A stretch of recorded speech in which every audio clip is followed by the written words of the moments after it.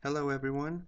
This video has the purpose of showing you the data migration tool called MFL, which stands for Master File Loader. This tool has been developed by GCON4 to make the process of data migration to Agresso much easier. The first thing you need to do is to download the files from the GCON4 website and once you have them in your computer, you open the executable file. So here in this folder, I have all the files downloaded from the GCON4 website, and we're gonna access this, which is the executable file. Once the MFL is open, this is the window you should be looking at. So first, before showing you how the MFL works, I'm going to give you briefly an overview of the MFL window. On the top left side of the screen, we see the fields in which we need to enter our username the client we're connecting to, our Agresso password, and the next field is very important, which is the URL for the MFL web service. Once we have entered that information, we just click the connect button.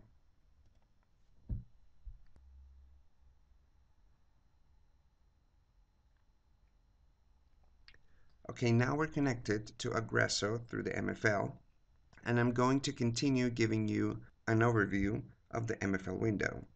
On the bottom left side of the screen, we see the Generate button, which is used to generate all the Excel templates that we're going to populate and use to upload the data into Agresso through the MFL. Then we have the date format field in which we can select the date format that we're going to use in our templates. So that can be day, month, year, or month, day, year. Right below the date format field, we have the functionality of standard mode or test mode. The test mode, what it does is do a validation of all the data we want to upload to Agresso, but it doesn't do any uploading. It only does a validation. It's just a test. And if we select standard mode, Agresso will also do the validation, but if the validation goes well, all the data will be uploaded to Agresso. Then we have the load button, which is used to actually load the information into Agresso, whether it's an insertion of data or an update of the data already in Agresso. Finally, on the right hand side of the screen, we have three buttons. The first is just general information of the MFL and the version we're using. Then we have the log button, which is the button that shows us all the log of errors that we have when we're trying to upload data into Agresso. And if we want to clear that log, we just click on the clear button that's right below. Now I'm going to show you how to generate the Excel templates that we're going to use to upload the data into the system. To do that, we just click on the generate button. Now using this window, we're going to generate our Excel. The first thing we need to do is to select the master file that we're going to upload the data for. So here we have the choice to select all the standard master files that Agresso has. And if by any chance we need to upload data for a user-defined master file, we just select attribute. And then we select the attribute for the user-defined master file that we want to upload the data. So for this example, I'm going to show you how to generate the template for the supplier master file. So we just select supplier this section of the screen is to retrieve any data that's already in Agresso and that we want to update. The section below is where we select all the fields or all the columns that will be part of our template. By default, the MFL will check all the mandatory fields that are part of that master file. As you can see here, we have several fields already checked and we can't uncheck them. The same goes with the tab itself. For example, the address tab for supplier, it's a mandatory tab and we cannot exclude that tab. As you can see, it's grayed out. Then in the bottom section of the screen, we have three functionalities. The unprotected or protected workbook, what it does is that when we generate the template, if it's unprotected, any person can do changes to the template and if it's protected, the workbook itself will be protected for changes. The sample row functionalities, what it does is that when we generate the template, we'll create sample rows in the template with sample data just as an example or a guide for the user to populate the template. So if we want to include sample rows, we just click here. And if we don't, we just click again. The accepted values functionality, what it does is that it includes an extra sheet in the workbook with all the accepted attribute values that are valid. This is to avoid the user that's populating the template to include unvalid values. However, even if the user includes not valid values, the MFL will validate. And then we have this button, which is to actually generate the template. Now the first thing I'm going to show you is how to generate the Excel template. So for this example, I'm going to select the supplier master file and I'm going to select some additional fields.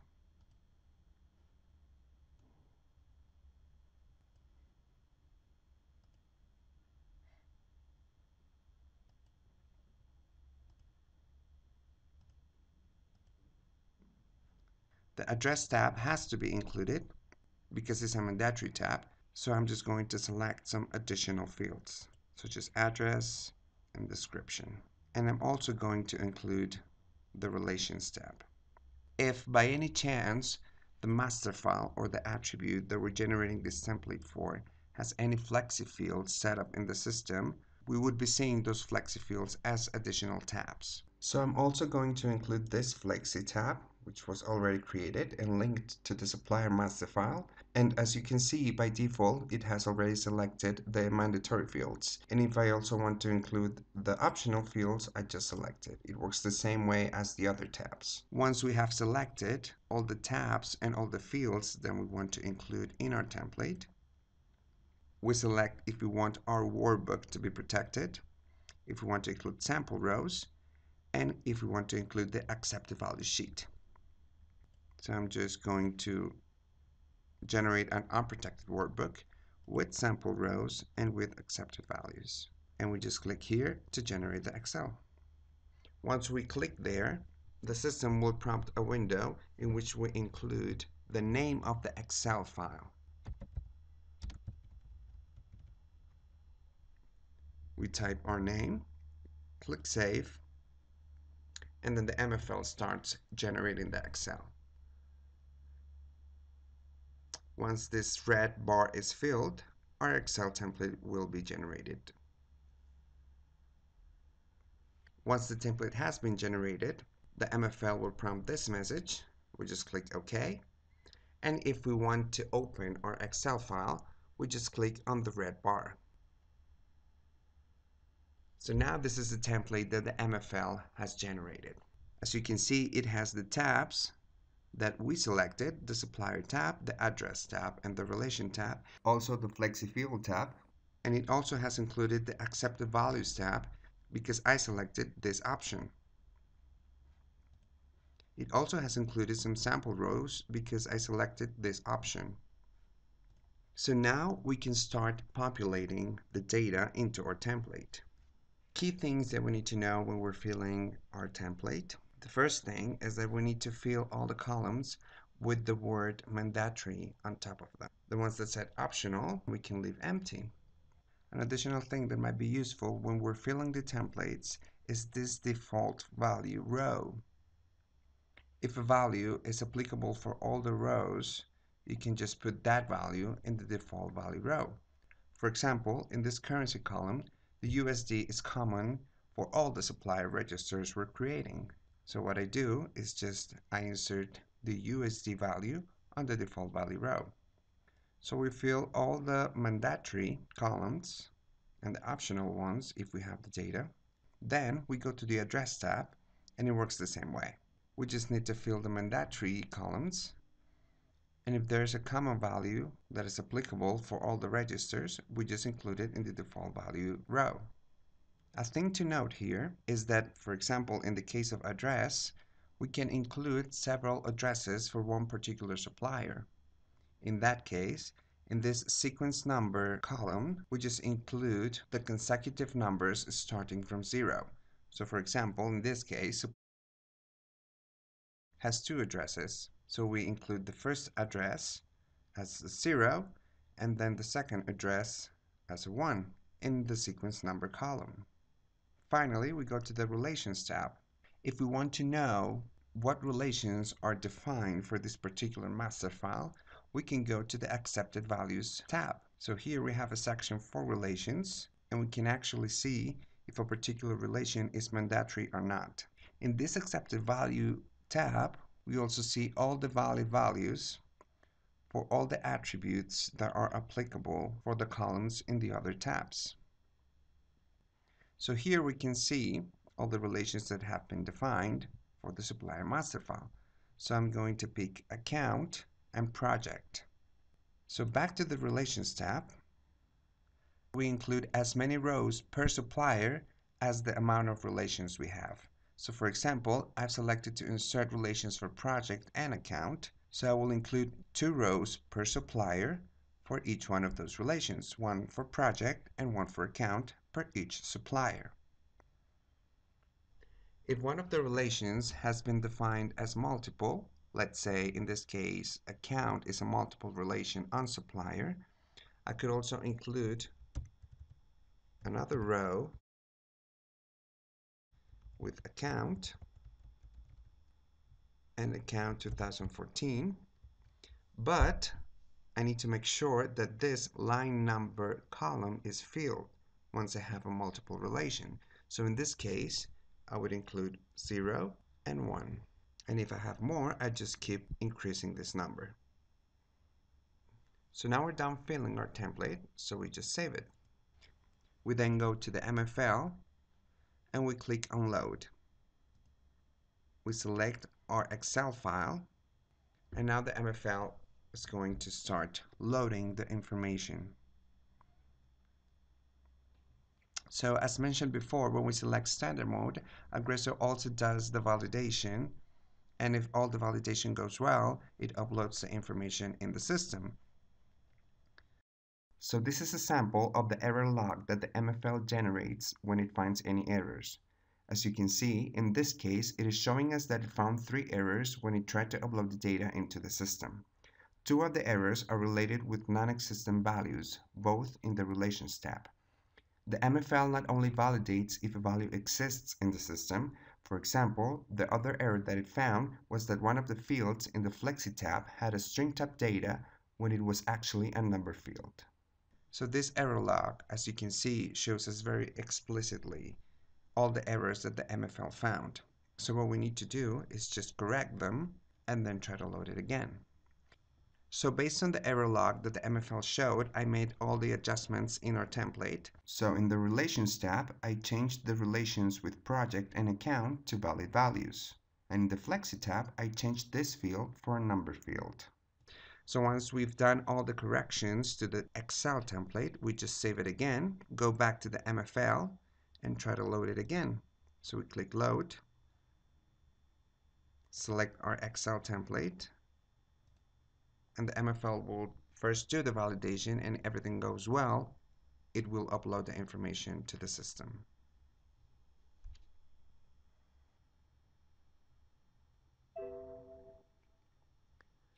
So once the MFL has successfully uploaded the information, we can see the message here with all the rows that were processed and the time that it took to process. So now we're sure that the information was uploaded to Agresso. If we want to confirm it, we just go to Agresso and we open the supplier master file and let's confirm if it uploaded the information. So supplier number 9002, for example. So here we can see all the information that we uploaded from the Excel template in the supplier tab, in the relations tab, and in the Flexi tab. Finally, I'm going to show you how to use the retrieval functionality when creating an Excel template. This functionality works not only for retrieval of data, sort of like a browser, but also allows you to update or correct data already in the system or fill empty fields in your database. To use this functionality, we clicked on the Generate button, and then we need to use this section of the screen. The first thing we do then is to select our master file. So in our example, we're going to keep using the supplier master file And then we use this section to apply any filter that we want to retrieve the data from Agresso into our template. So let's say we need to update the addresses of our suppliers that are located in Great Britain. So to do that, in this section, we're going to specify that we only want to retrieve the suppliers that have Great Britain as a country. So first, in the master file sheet column, we need to select the tab where our filter is located. So I know that the country field, for example, which is going to be my filter, it's located in the supplier tab. So I select supplier and then in the field column, I look for my field, which is country code. And the operator field, these are the options that I can select. So in my case, because I'm going to retrieve all the suppliers from Great Britain, I'm going to select like and the value is GB for Great Britain. If I need to add any more filters to my retrieval, I just keep adding rows. After I have selected all the filters or all the conditions that I want to put into my retrieval, I just select the fields that I want to include in my template just as we did before. So I just tick on um, these checkboxes to include the correspondent field and do the same with the tabs. So the address tab is included already and the relation tab if I want to include it in my template or is part of the update that I want to do, I also include it. So for this case, I'm not going to include it. And then I can also select if I want the workbook to be protected and if we want to include the accepted values sheet. As you can see, the sample rows button is deactivated because we're already including data in the template. So after we have specified our retrieval filters or our retrieval conditions, and also all the fields or all the columns that we want to include in our template, we just click the generate button. We type the name of our template and we click Save.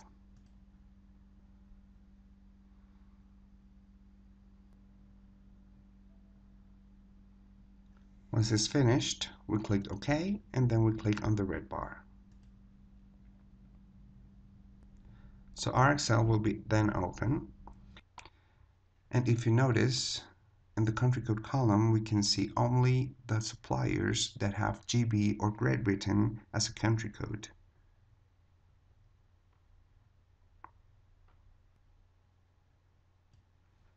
So after we've generated the template with the data, we can edit whatever field we want. We save our template and then we load it to the system through the MFL just as we did before using the load button. So that's all for this video. Thank you very much for your attention. And if you have any questions, doubts, or additional comments, you need to go to the MFL website and click on the contact button. Then you fill the form with your questions or queries and click send.